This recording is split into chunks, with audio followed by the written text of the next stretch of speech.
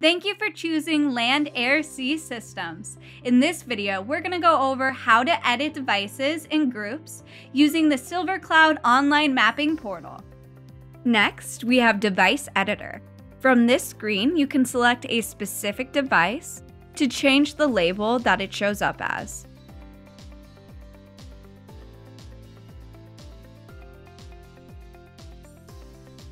As well as what group you would like it to be a part of, and then what icon you'd like to view the device as.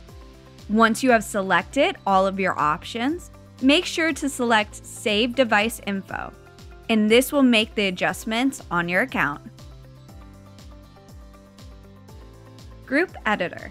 From this screen, you can generate specific groups to assign your devices to.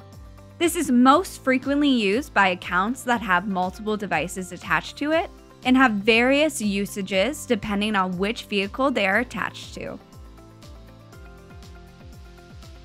From this screen, you will select a name for the group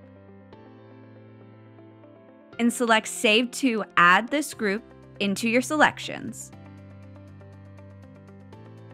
Next, you'll want to go down to All Vehicles drop down and select which device you'd like to add this group and assign selection to that group.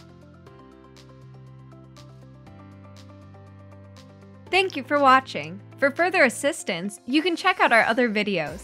Visit our website at www.landairsea.com or call 847 462 8100.